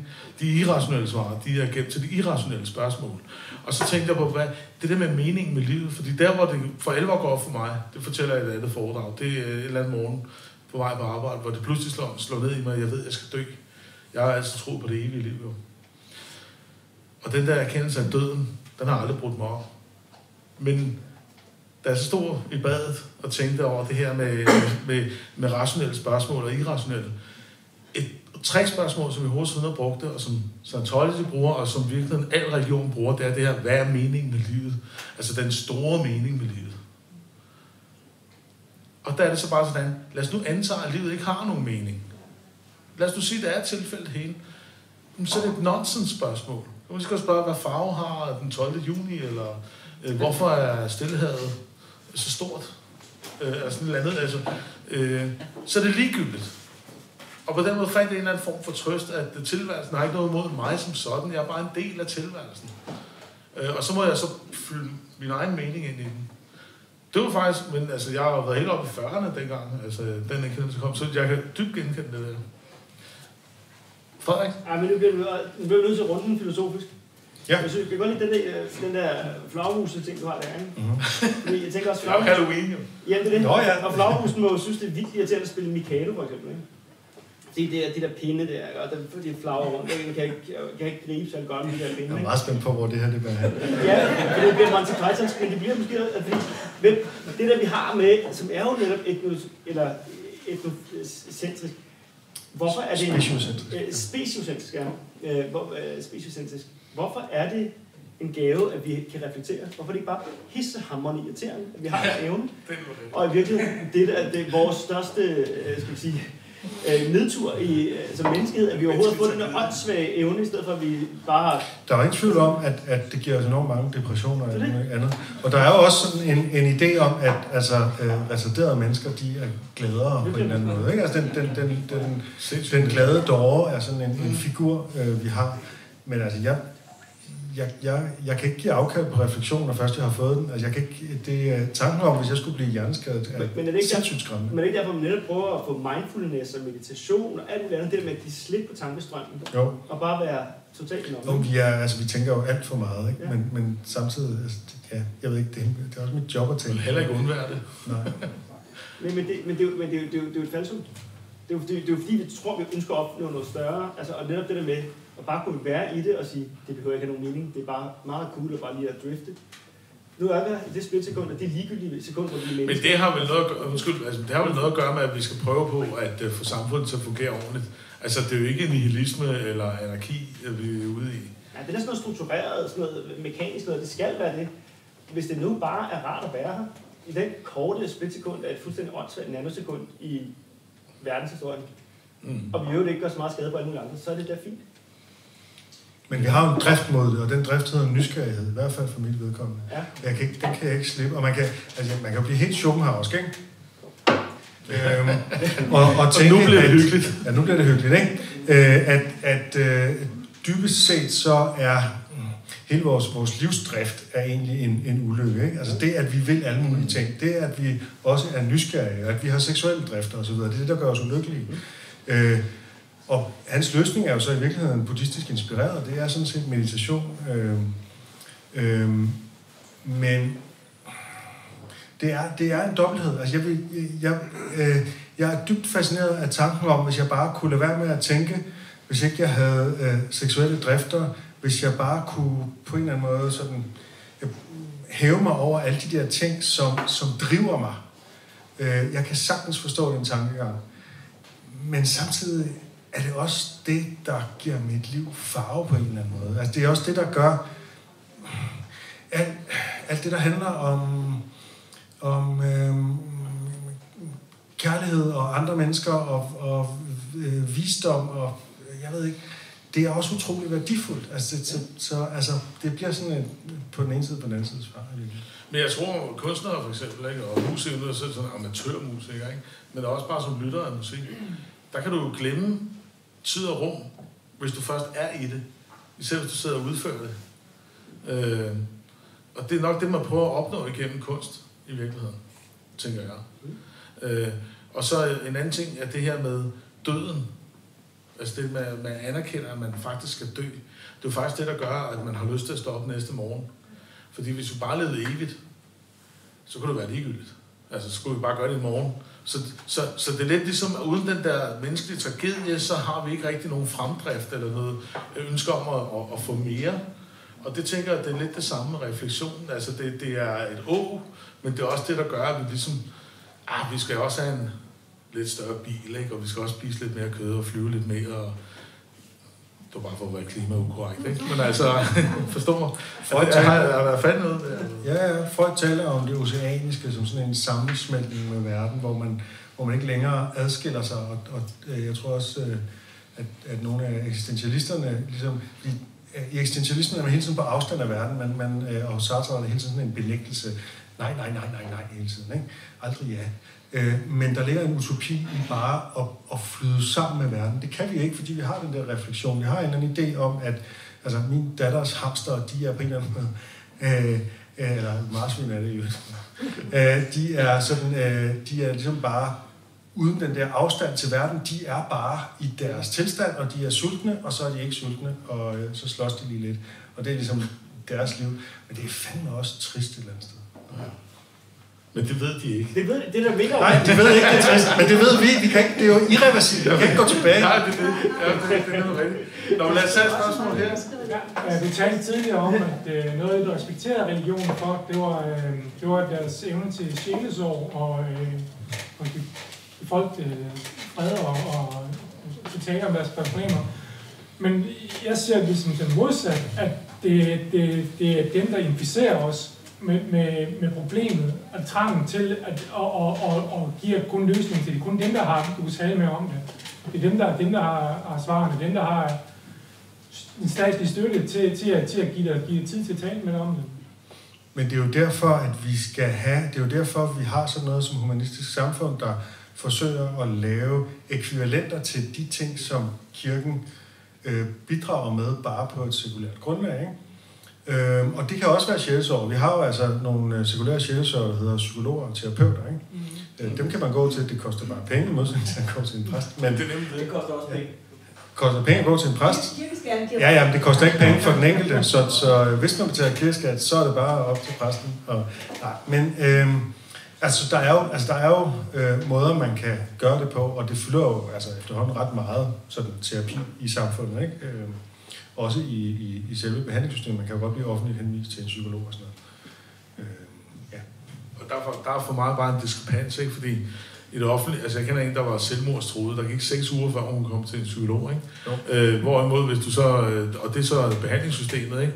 Og over i kirken, jamen så er der masser af tid og plads og rum og designermøbler og kormusik og sådan noget. Jeg tænker, man, man kunne måske godt sådan smøre det lidt mere... Det er fordi Gud er stor, han har givet os så mange gaver.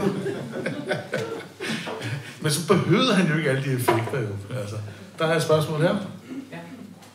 Øhm, du har tidligere indsamlet argumenter fra begge sider af debatten om omskæring af drengebørn. Det er rigtigt. Hold Ja. da kæft. Øhm. Kan du kort fortælle om øh, resultatet af det, og hvor du selv står for emnet? Det er en af de største websider, jeg har bevæget mig i. Altså, kønsdebatten er betændt. Øh, islamdebatten er betændt. Men omskæringsdebatten slår dem begge to. Den er...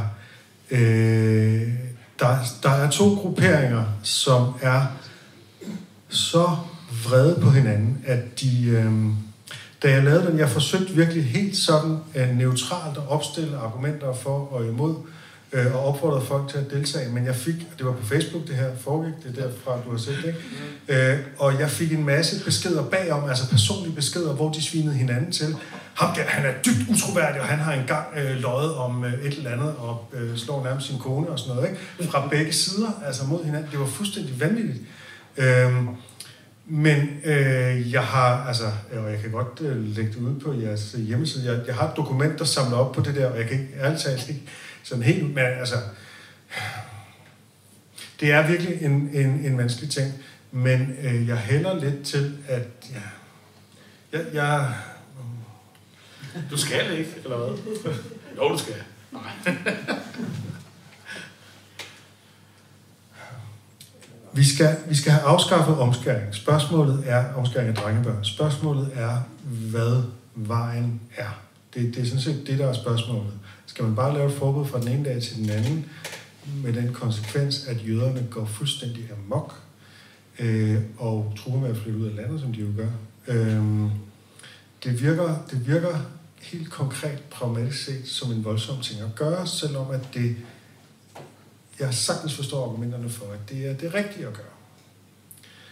Øh, Så hvad er det pragmatisk rigtige at gøre? Jamen det er på en eller anden måde at oplyse om det og øhm, få de stemmer blandt jøderne selv, som forholder sig kritisk til det og få dem frem i lyset. Og altså i det hele taget er, øh, altså sekularisering er ikke, sekularisering er ikke noget, man kan øh, hive ned over hovedet på et samfund. Det er noget, der, det er et konservativt argument det her, men det er også et, et realistisk argument. Det er en proces. Sekularisering er en proces, det er en vedgående proces, det er en langsom proces, men man kan, ikke, man kan simpelthen ikke øh, skynde den igennem, fordi der kommer hele tiden modreaktioner, og det er den virkelighed, vi står i. Hvor irriterende det end er, så er det sådan der. Øh, Jeg ved ikke, om det var et svar. Men altså, så kan man læse, jeg opregner argumenterne, jeg har et dokument øh, på Zetland, man kan lægge ud på Mm. Nazistisk Selskabs hjemmeside. Ja, eller det- Facebook-side. Ja, det er du velkommen til. Øhm, det, jeg, jeg tænker så lidt over nogle gange, øh, fordi jeg arbejder via artistisk selskab netop for et sekulært samfund. Og derfor støtter vi også et forbud mod øh, omskæring, for eksempel. og jeg kan da godt se nogle gange, at det kan, det kan virke som om, at nu er vi bestemme over andre mennesker. Men jeg ser det som at sætte mennesker fri. Og så bare sige, at staten har ikke nogen holdninger til religion og så videre, men vi har nogle holdninger til menneskerettigheder og vold og den slags ting. Og det skal man holde sig for. Øh, færdig arbejde. Øh, så det, der, men jeg kan da godt se det der argument, du kommer Og jeg, jeg er jo sådan set enig, men det er Mm. også et spørgsmål om det er et spørgsmål om proportioner. Altså, hvad, hvad er det vigtigste at tage fat på med de konsekvenser, det, det nu øh, har? Er det, er det det største problem, vi står med? Det er jeg ikke så sikker på, som, som nogle af dem, jeg har hørt fra, de er. Mm. Øh, altså, det, jeg, kan ikke, jeg kan ikke have det som min mærkesag øh, på den måde. Jeg kan ikke have det som, nu må vi gøre det, og nu og sådan noget. Men jeg, jeg ser meget gerne, at vi altså, i løbet af det her århundrede får det afskaffet. Mm. Jamen, Og jeg øh, ved godt, der er nogen, der har komplikationer af det her, men så mange er det altså heller ikke. Nej, altså jeg kan sagtens se, at i forhold til altså, det battle, man går ind i, det er jo omvendt proportionalt næsten måske med omfanget af problemet. Det kan jeg sådan set godt se. Vi skal, Men vi skal, vi skal simpelthen vi skal stræbe mod, at det, at det bliver ulovligt at omskære drengebørn under 18 år, og når de er 18 år, så kan de selv vælge at gøre det. Ja, så kan Det er, de- selvfølgelig, det er selvfølgelig det, der er målet. Spørgsmålet er, øh, hvilken vej skal vi gå derhen, og hvor hurtigt kan den gå? Mm. Ja. Spændende. Og, Ja, til det, fordi nu nævnte du det der med kultur øh, muslimer. Øh, øh, det har jeg ikke hørt før. Men jeg, jeg har på fornemmelsen, at selv kulturmuslimer også omskærer drengebørn, selvom de ikke er altså fuldt ud muslimer. Som, Ja, og i USA, der bliver de fleste øh, også ateistiske og kristne drengebørn omskåret. Ikke? Øh, så det er jo et det er spørgsmål om tradition. meget faldende, det tal. Ja, øh, men det er, jo, det er jo et spørgsmål om tradition, ikke? Ja. Øh, og for muslimer er det sådan, altså for jøderne er det en meget, altså der er det en meget, meget central del af deres religion. Det er derfor, at det er dem, der råber mest op. For muslimer der er det sådan, nå ja, det, det, er en, det er en ting, de gør, og det er en ting, de gerne vil gøre, men den er ikke, den er ikke er det mit indtryk, øh, den er ikke så central, som den er for jøder. For jøder der er det simpelthen, altså det er på niveau med at sige til kristne, at de ikke må døbe deres børn. Øh, det er der, vi er. Og det ville altså også give et ramaskrig blandt øh, mange kristne forskellige steder, hvis man sagde, at de ikke må døbe deres børn. Men jeg vil så lige sige det der med religion og kultur og tradition. Altså, det stammer jo fra regionen af, ikke? Altså, i USA er det ikke en større tradition, end at det var en gut, der hed Keller, ham med cornflakesene, som var enormt øh, besat af det her med sex afholdenhed, ikke? Og der var det simpelthen, øh, man, man tog det her gamle øh, øh, bud fra Moseloven, og så indførte man det ligesom i den ret, rette måde at være kristen på, fordi det simpelthen skulle gøre det sværere for drengene at ordinere og nedsætte deres sexlyst. Øh, så, og så kan det godt være, at der er nogen, der ikke kan huske længere, hvorfor de ikke kan spise svinekød, eller hvorfor de lader sig omskære og sådan noget, men det stammer jo fra en religiøs impuls et eller andet sted. Nej, Kellogg's impuls var jo netop, du har lige redegjort for det, ikke religiøs. Den var, den var, øh, det var, den opstod af et ubehag ved onani. Det er jo, Det, ja, ja, men det hans, hans, religiøst. jo, Det jo, godt være, at han bruger religionen til det, men der er jo forskel på at bruge religionen til et eller andet. Det er det samme med homofobi. Øhm, du kan, altså, grund til, at homofobi eksisterer, øhm, som, øh, og, og også inden for religioner, det er, at, at der er folk inden for de der kirker, som er homofober, og så bruger de religionen til at... Øh, øh, jo men, men, øh, men religionen, altså selv det bruger jo netop sex, sexlivet. Altså hvis du kan styre det hos mennesker, så kan du styre mennesker. Øh, og, og grunden til Kellogg var besat af sexafholdenhed, det var jo fordi, at man skulle være en sand kristen. Øh, og, og homofobi, ja, altså, der står i Bibelen, altså, mænd, der lever hos mænd, de skal ikke afgudes rige og så videre, ikke?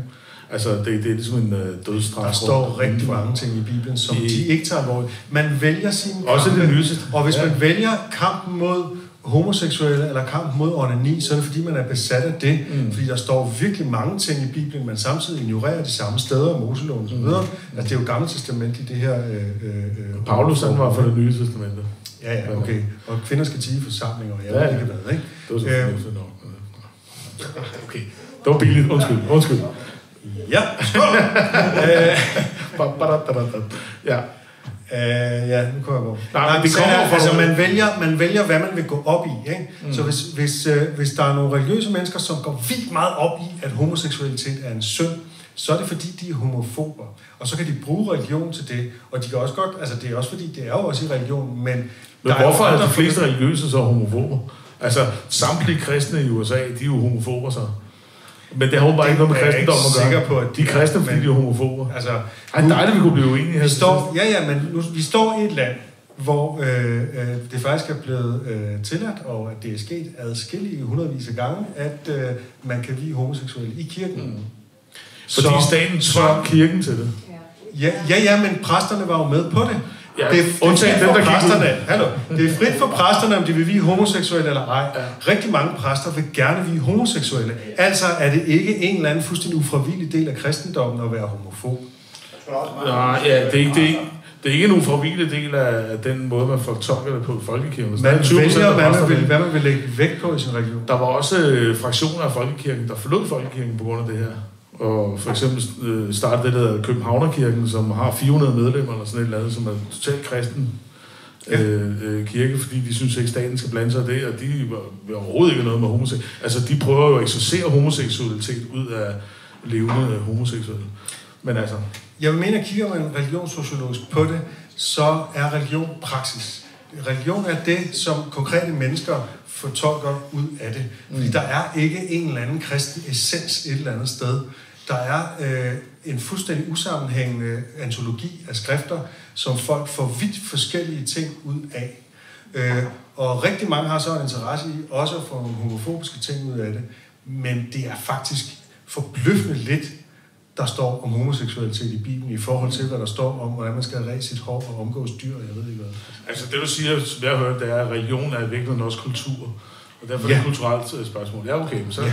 Og uanset om det så stammer fra kultur eller religion, så kan vi godt være enige om, at homofobi det er bare ikke i orden. Jamen selvfølgelig, ja. Okay, øh, skal, har vi tid til et sidste spørgsmål? Aller sidste spørgsmål. Og, og, og bagefter så er baren åben, og vi kan jo blive her og snakke, og hvad vi nu ellers gør. Har vi, har vi et enkelt spørgsmål? Er der ikke flere spørgsmål til Thomas Arnett? Første, anden, tredje. Der er ikke flere spørgsmål, simpelthen. Vi du har svaret på alle spørgsmål, Torben. Det er første gang, det sker. Og det er 20. gudløse torsdag, vi har. Så det er jo noget af en præstation. Det vil jeg sige. Tak fordi I kom. Jamen, øh, tusind tak, fordi du kom. Og husk næste gudløse torsdag 28. november, og vi har gæster. Så, og der kommer et helt fuldstændig forkromet arrangement op på vores Facebook og alle de rigtige kanaler. Tak for